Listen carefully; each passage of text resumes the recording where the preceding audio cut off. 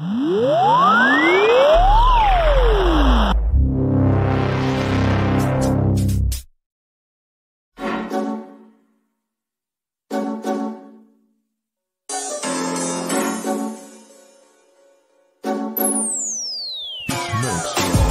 turun padang semua dungu berpenunggu. Kami inspirasi sebab itu mereka tiru.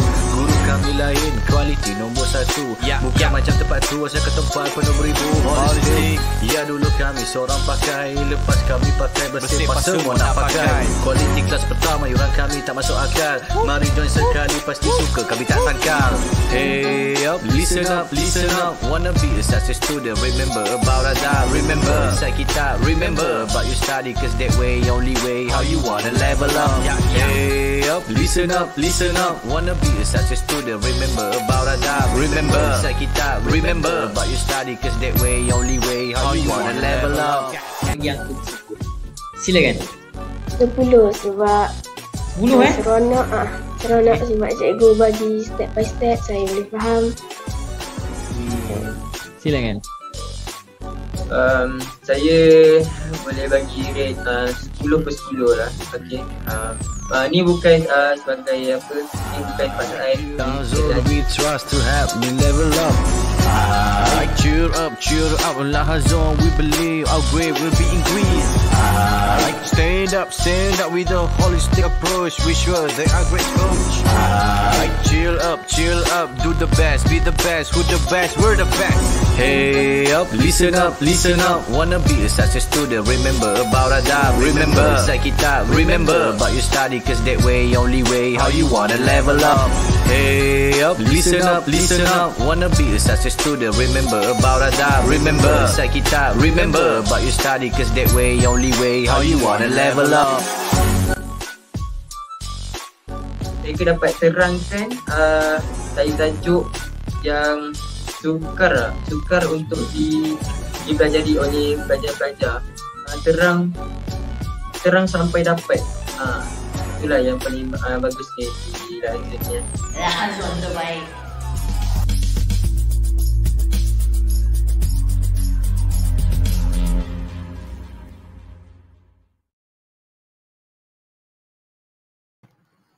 Okey, hai Assalamualaikum bersama saya Cikgu Mariam hari ini dalam segmen uh, Buletin Viral Pendidikan. Okey, hari ini kita akan kupaskan lagi topik-topik yang tengah hangat sekarang ni okey ataupun yang sedang diperkatakan dan menjadi isu uh, sejak beberapa hari yang lepas. Okey, yang mana uh, seorang pelajar meninggal kerana dilanggar oleh bas sekolah. Okey. Uh, so mungkin dalam keadaan i, ketika itu pemandu bas ni tak nampak pelajar tersebut dan terlanggar kerana pelajar tersebut berlalu di depan depan van-nya. Alright. So itu sangat bahaya. So hari ini saya akan kupaskan lagi antara langkah-langkah yang perlu diambil oleh seorang pemandu semasa menghantar pelajar ke sekolah ataupun ke tempat transit.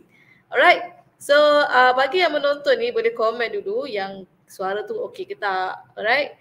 Boleh komen Assalamualaikum Cikgu Mariam Waalaikumsalam Coach Nis ha, So kita sama-sama doakan Coach Nis Semoga diberi kesembuhan dengan cepat Okay dan kembali sihat Alright So saya akan sharekan slide saya hari ini um, Okay sebentar ya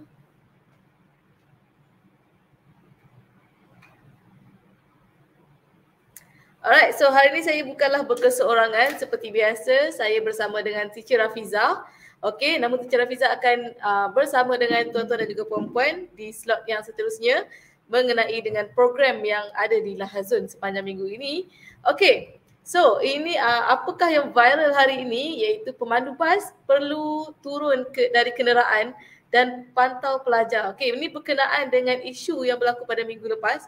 Okey, yang mana uh, seorang pelajar dilanggar and ini adalah antara cara bagaimana nak elakkan perkara ini berlaku supaya tiada lagi nyawa lain yang terkorban. Okey, jadi pemandu bas sendiri perlu ambil beberapa langkah untuk pastikan keselamatan pelajar ketika turun daripada bas sehinggalah sampai ke destinasi, uh, ke sekolah ataupun ke tempat yang uh, di rumah dan sebagainya. Okey, so saya tidak mahu membuang masa lagi. Saya akan teruskan, okey. Uh, ini adalah langkah keselamatan yang perlu diambil oleh pemandu bas ataupun van sekolah Antaranya yang pertama, uh, pemandu bas sendiri perlu buka tingkap. Uh, buka tingkap apa? Buka tingkap bahagian pemandu tu supaya dengar sebarang bunyi daripada luar. Okay, uh, bunyi apa so that dia tahu, uh, dia aware dengan persekitaran bas tu supaya tiada lagi, uh, maksudnya keadaan tu selamat untuk dia bergerak dan sebagainya. Okay, itu adalah langkah pertama yang mana uh, pemandu bas sendiri perlu dia uh, perlu ambil. Alright.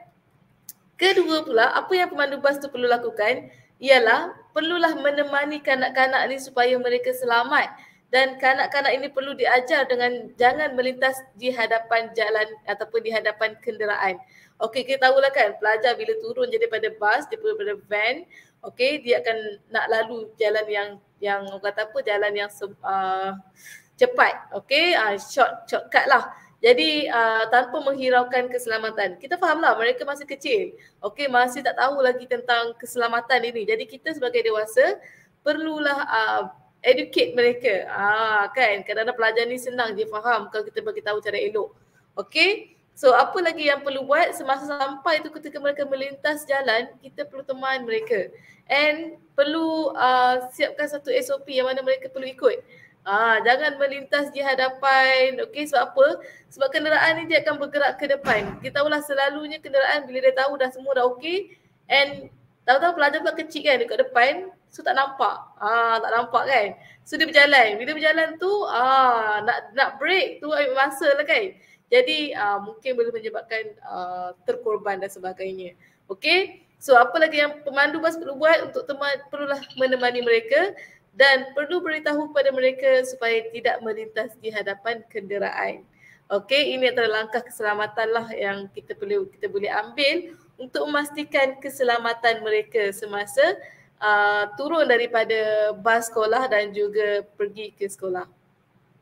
Okey, and seterusnya apa lagi yang kita perlu lakukan ialah Kanak-kanak ini perlu diajar supaya jangan berada di kawasan terlindung. Kawasan terlindung ni ialah kawasan blind spot. So kita tahu kan uh, setiap kenderaan ni dia ada blind spot dia. Okey kalau kita dekat situ walaupun ada side mirror, walaupun ada cermin yang kita boleh pandang belakang tu semua tu, tapi still ada kawasan yang tak dapat dilihat. Ah itu kita panggil blind spot. So educate pelajar, educate kanak-kanak ni. Ah, sebab kita tahulah yang masa sebelum ni yang tahun satu. So kalau tahun satu kita tengok kalau saiz itu sangat kecil lah kan, masih lagi kecil. Uh, masih lagi orang kata apa uh, susah untuk dilihat kalau dia di luar kenderaan. Okay. So uh, tunjukkan kepada mereka di mana blind spot, jangan berada di sini. Okay. Uh, takut jadi macam gini kan. So kita kena ambil langkah-langkah tu supaya perkara ini tidak lagi berulang. Okay. So ini antara tiga langkah yang perlu diambil supaya untuk pastikan uh, peristiwa uh, yang lepas tu tidak lagi berulang sebab itu antara berita yang menyadis yang sadis ah menyadiskan pula berita yang sadis bila kita tengok kan pelajar tahun satu meninggal sebab dilanggar so kita tak nak salahkan siapa-siapa tapi uh, apa yang kita boleh buat ialah kita perlu ambil langkah-langkah yang disarankan ini Okey supaya peristiwa tersebut tidak lagi berulang. Uh, kesian sebab mereka masih lagi berum, masih lagi umur yang uh, muda lagi kan. Masih baru baru tujuh tahun. So apa perasaan bapa? Apa perasaan keluarga mereka? Okay and saya pasti pemandu sendiri pun tidak berniat untuk itu. Ah kan?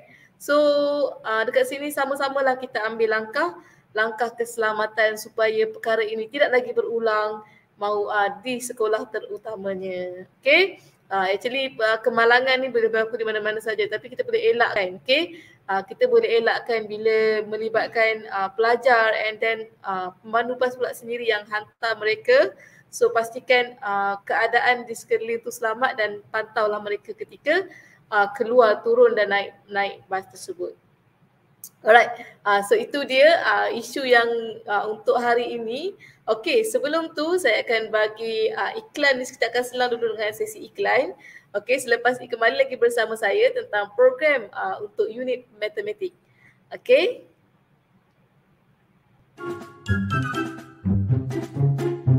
Hi everybody. Hi. How are you? Fine, thank you. Okay, we will start our meeting now. I want to hear from City. What is your Macam mana nak opinion? Or maybe you want it some more. Can you explain to me? Kan? Y- Yes. Eh? Osaka? Do you ever feel like your whole world is gonna end just because you have to speak in English? Or maybe like your tongue is stuck and all of your words have left you and your confidence? A little bit like how you feel right now. Right, Sidi? Cakap dengan aku ke? Yes, I'm talking to you. Dia memang susah lah cakap nak bahasa Inggeris ni. Setiap kali nak bahasa Inggeris, kata-kata semua hilang. Lidah kaku, mata berair, bibir kering, berpeluh semua. Macam mana caranya? Mm-hmm. I definitely understand.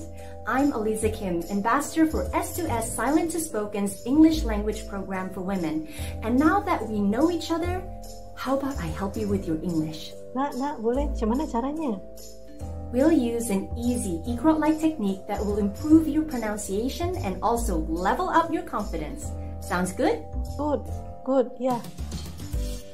Okay, there's one more amazing thing that you need to know. Once you finish this S2S Silent to Spoken English program for women, you'll have everything you need to know to sit for the Cambridge English Qualification Examination. Yes, that Cambridge. Amazing, right? So, I think this is the perfect time for you to join and register City. So, I'll see you in class. Okay? Okay, see you in class. Ha, okay, kembali lagi bersama saya. Okay, so dalam slot kali ini saya akan terangkan pula berkenaan dengan program yang akan diadakan pada hujung bulan ini. Okay, itu program bootcamp pemantapan akademik pada November. Okay, hari itu kita dah ada pun untuk sesi Oktober. Sekarang kita datangkan pula untuk sesi November bagi mereka yang terlepas pada sesi sebelum ni.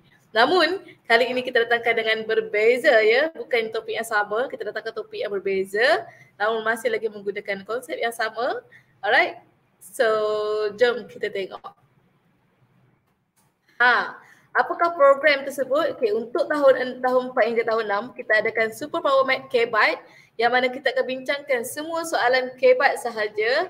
Okay, soalan penyelesaian masalah dan uh, soalan-soalan kemahiran berfikir aras tinggi iaitu dalam topik uh, pertukaran unit yang mana topik ni merupakan topik yang sangat uh, keliru ah keliru macam mana tu sebab pelajar ni kebanyakannya dia confuse ah bagi topik tersebut Okay, kalau ada pun uh, masih ramai lagi yang masih lagi tak tak menguasai sepenuhnya bagi topik ini.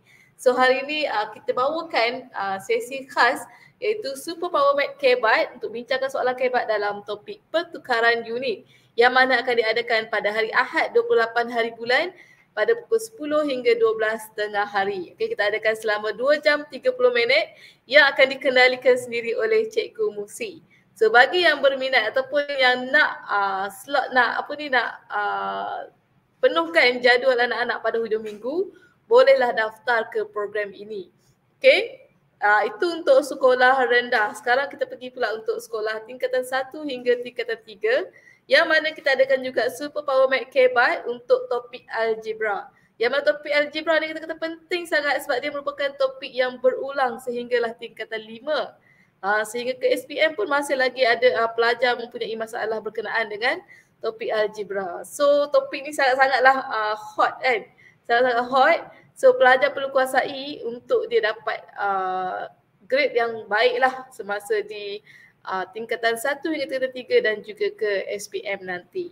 Alright, yang mana akan diadakan pada Sabtu 27 hari bulan pada pukul 2.30 hingga 5 petang bersama dengan Coach Asni.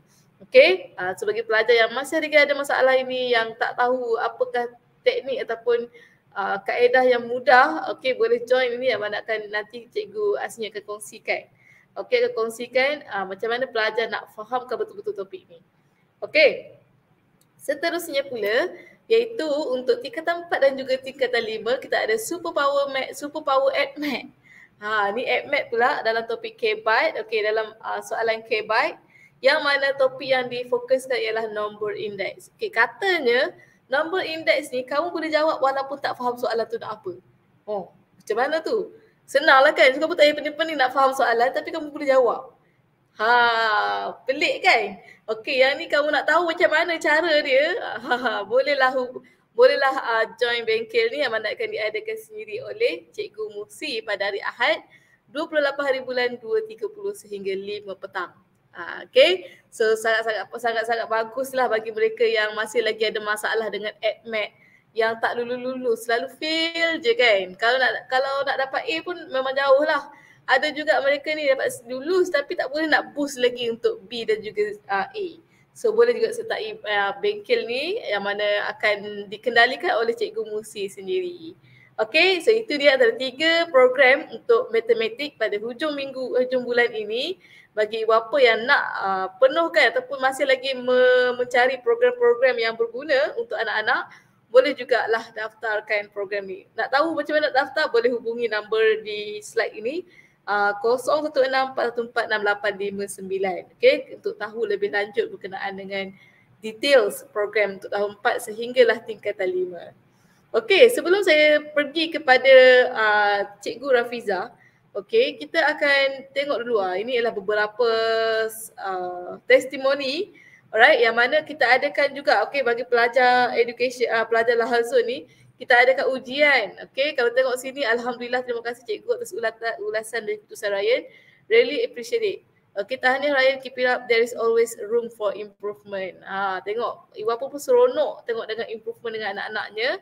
Okay, uh, kita adakan juga, okay, di Lahazun juga ada mengadakan ujian ya untuk pelajar-pelajar untuk tahu tahap penguasaan mereka. Ha, walaupun online, Okey, adakah mereka ni online, adakah uh, dengan online tu menghalang mereka untuk berjaya?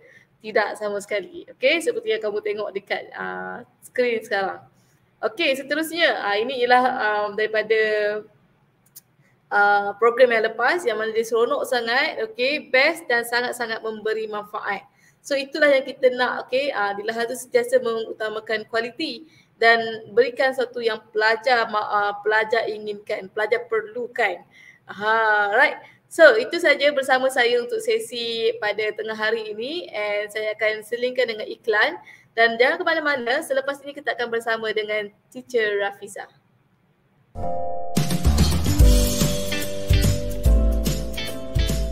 Hello everyone, my name is Isfarhan. Today I want to show you how to make a sweet banana muffin. Firstly, put 180 gram all-of-purpose flour and 1 baking soda into a bowl. Then,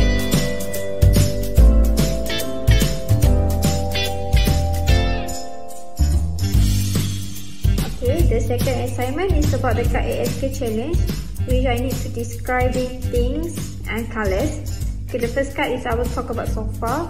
It's not sofa, sofa. Sofa the sofa color is a red, bright red, bright red in color. Where you can see it is made up of the leather. This is my silent to spoken short story assignment with Kat ASK. This is Mr. Owen. He is an English teacher at one of the most famous school in Kuala Lumpur. During his lunchtime, he usually go to a nearby restaurant and order a sandwich. But before he ate the sandwich, he will take a photo the sandwich with his handphone and post it in his social media.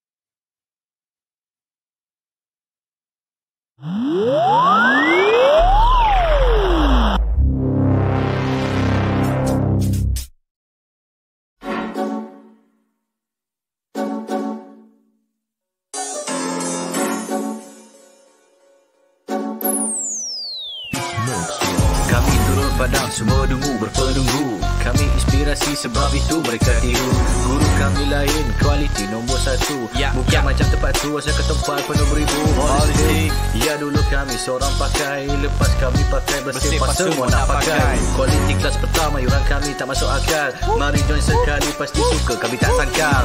Hey up, listen up, listen up. Wanna be a success student Remember about Ada Remember inside kita Remember about you study. Cause that way only way How you wanna level up. Hey up, listen up, listen up Wanna be a success student Remember about Ada Remember inside kita Remember about you study Cause that way only way How you wanna level up tersebut. Silakan. 10 sebab 10 eh? Seronok ah. Seronok sebab cikgu bagi step by step saya boleh faham. Silakan. Um, saya boleh bagi rate uh, 10 per 10 lah. Okay. Um, uh, ni bukan uh, sebagai apa, ni bukan pasal Zone